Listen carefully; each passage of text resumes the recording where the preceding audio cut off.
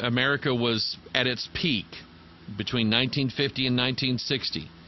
Um, you could l- go to sleep with your door open, your screen door shut. You didn't have to lock anything. I mean, that's how it was. There was just a common decency. Kids could still pray in school, they could read their Bible. Um, a, a, a Sunday, there was nothing. Do you remember these days? On Sunday, there was nothing open. There were towns and communities all over America that on Sunday they closed their doors. You couldn't you couldn't buy gas. You couldn't go to the you didn't go to the grocery store. You just couldn't do business with somebody unless it was an emergency on Sunday. Nobody did that. That why? Because that was out of respect for people going to church. It's not because they thought it was the Sabbath. It was out of respect for people going to church. They just said, we're just not going to do business on Sunday. Chick fil A still will not do business on Sunday. They represent the America that used to be. And we think of that so strange now. But that's how it is, or that's how it was. And, um, but America has turned completely around. We have lost just about every shred of decency and morality in this country. So that here are politicians who are standing up and they're trying to take at least a soft stand on sodomite marriage, and they say, we just think it's between a man and a woman. And so you, you get the Hollywood crowd saying, oh, these people need to drown in the hurricane. That's what they need. And um, to me, it's interesting. The hurricane's not going to Tampa, it's going to New Orleans where they're having southern decadence. Who controls the hurricane? And I'm going to I'm to be dealing with this next week in the Watchman broadcast. Um, and I am I am 100% positive, and I may be wrong. I am 100% positive that there's going to be at least four or five YouTube bloggers out there and uh, some other WordPress bloggers. They're going to they're going to rehash this thing with HAARP and and weather control and all of these diabolical machines that apparently the government has to cause hurricanes to go into exact location. Uh, you've seen all that. You've probably watched the videos and went, oh, wow, I didn't know they could do that. Well, you still don't. You still don't know they could do that. Because, and they're going to say, well, what about HAARP? Well, yeah, well, what about HAARP? We still don't. I mean, I believe in it. I believe this gigantic antenna array. I think something weird is up with it. But the truth is, neither you nor I, Nick Begich, who does all the commentaries on, he's like the HAARP expert, None of these guys really actually know what's going on. But here's something that we have. We have a sure word of prophecy. And one of the things that I do know is that God controls wind. He is in control of all of the wind. And so God says, when they say, when they are raging against Him, and they want to break the bands asunder and cast the cords of God from them, Here's what God says in verse 4 of Psalm 2 He that sitteth in the heavens shall laugh. That's what Isaac's name means. God is laughing. He that sitteth in the heavens shall laugh. The Lord shall have them in derision. You know, I want to look that word up.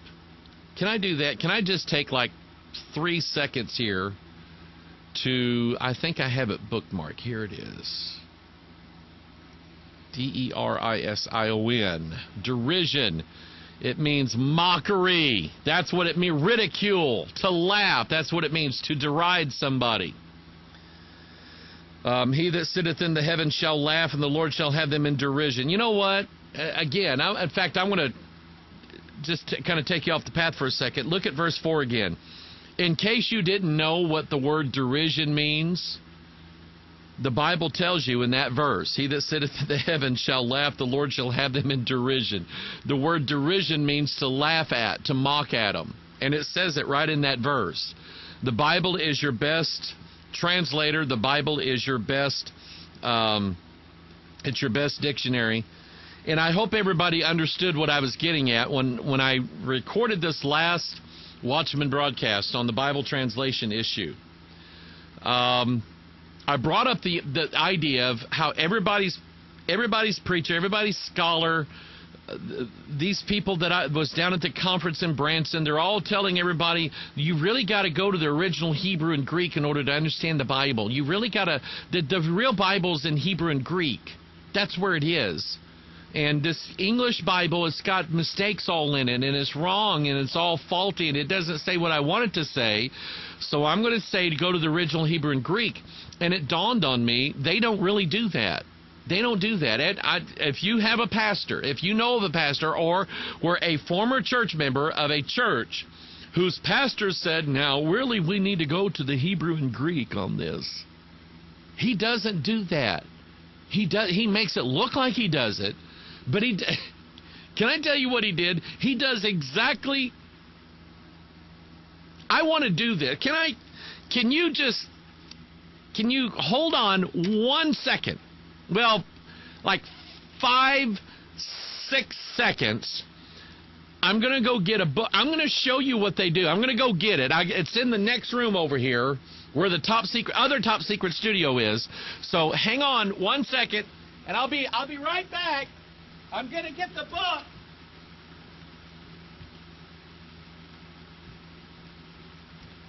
There it is. I got it. Hang on. Hang on.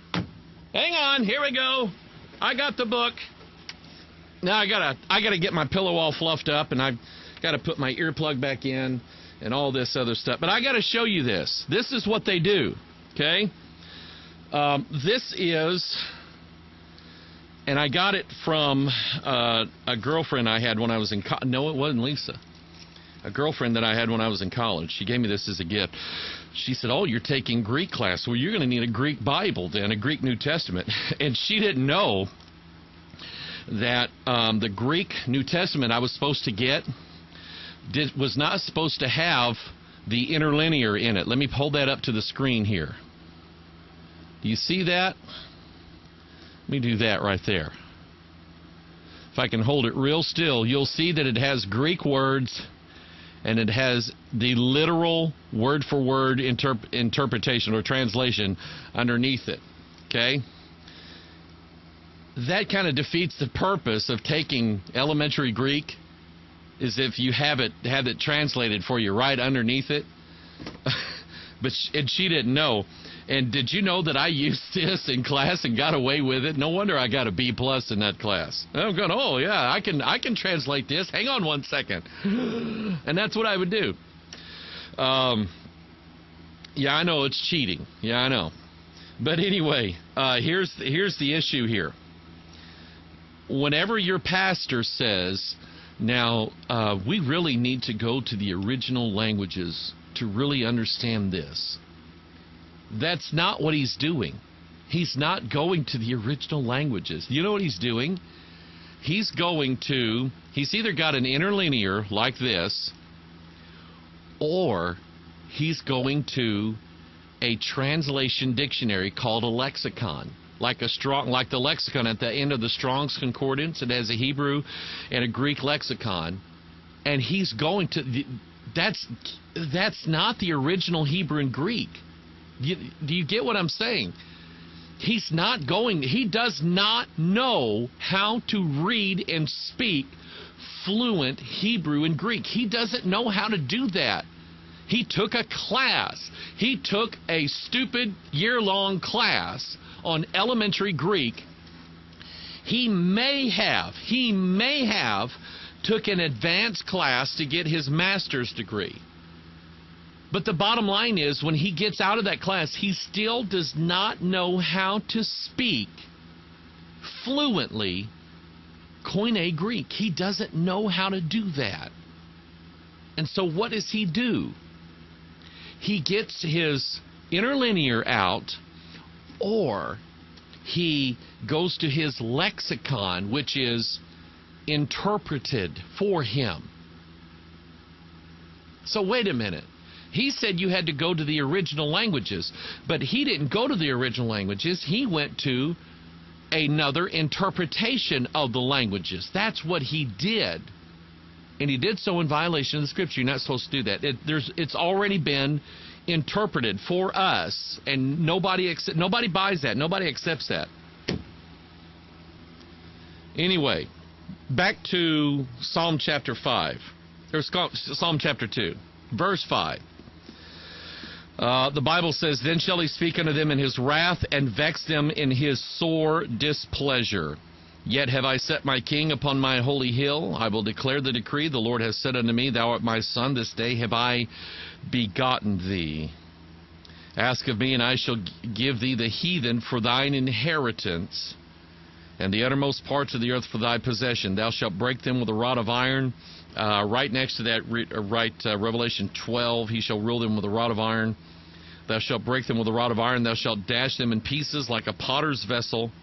Be wise now, therefore, O ye kings, be instructed, ye judges of the earth. Serve the Lord with fear and rejoice with trembling.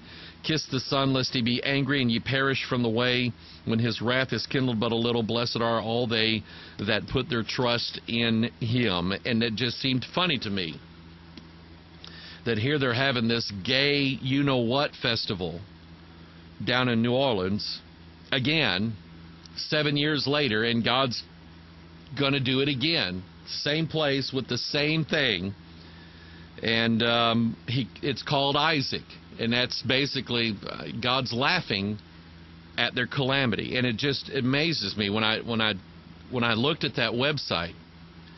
Uh, the idea that these people were so bent on going to New Orleans so they could all hook up together. I mean, you I mean you get it. You know what this is, don't you? Um, it's sickening. It's disgusting. But this is what these people are all about. They have no thought of anything else. And the wrath of God does not scare them. This is why they do what they do. In public, by the way. They do this stuff in public. Um, where are my notes for today? Uh, I was going to read some news articles here. Uh, this is from the London Telegraph. Cannabis smoking permanently lowers IQ. Duh. Have you ever talked to somebody? Have you ever have you do you know somebody that loves to smoke marijuana and they do it and they have done a lot of it. Have you ever tried to talk to them? These people are dumber than a box of rocks. But the scientists in the lab coats had to be the one to tell us. Teenagers who regularly smoke cannabis are putting themselves at risk of permanently damaging their intelligence, according to a landmark study. Researchers found persistent users of the drug who started smoking it at school had lower IQ scores as adults. They were also significantly more likely to have attention and memory problems later in life than their peers who abstained. Are you, are you kidding me? You had to put lab coats on guys with clipboards and test tubes and surveys and all this stuff to figure this out. I've known people that have smoked a lot of marijuana in their life and they are not as smart as everybody else and they have a short attention span and they have a short memory span. Hey, Jim. Huh? Oh, you talking to me? Yeah. Furthermore, those who started as teenagers and used it heavily